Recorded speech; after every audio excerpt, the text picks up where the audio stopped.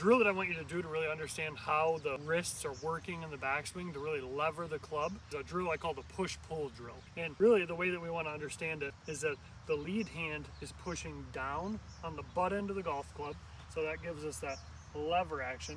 The trail palm is pushing down against the lead thumb knuckle.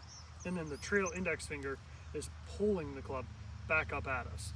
So if we took the club straight out away from us like this, our hands pushing away, and I just took the club head and pulled it right back up at me, this is the sensation we want to feel in the golf swing, where we're pushing out away against the butt end of the golf club, we're pushing out away against the lead thumb knuckle, and then we're pulling back up at us with that index finger. So in the golf swing, it's going to look something like this. So this is what we call full lever. This is our hammer so we can hit the nail.